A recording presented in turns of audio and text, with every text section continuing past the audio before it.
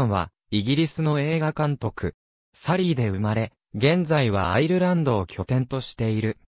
幼少期から映画を見ており、17歳から批評家として映画雑誌に寄稿を始める。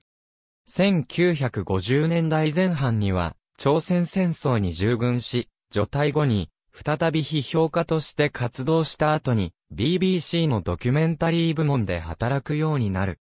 1965年の5人の週末で監督デビューを果たすと、すぐにアメリカへ渡り、1967年に殺しの分け前、ポイントブランクを、その翌年には太平洋の地獄をリーマービン主演で発表。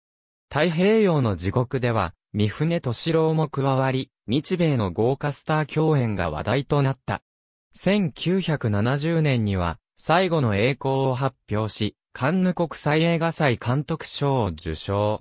1972年には、ジョン・ボイト主演でサバイバルを主題としたサスペンス映画、脱出を発表し、工業的に空前の成功を収める。また、本作で自身としては、初となる、アカデミー作品賞と監督賞に、ノミネートされる。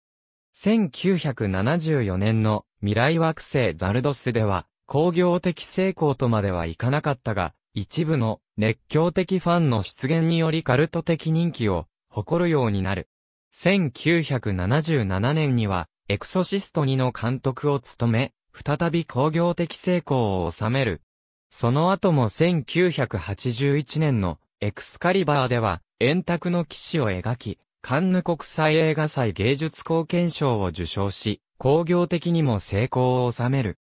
1987年の戦場の小さな天使たちでは、第二次世界大戦中のロンドン空襲を子供の視点から描き、再び工業的にも、批評的にも成功を収め、第60回アカデミー賞でも、作品賞や監督賞を含む複数の部門でノミネートされる。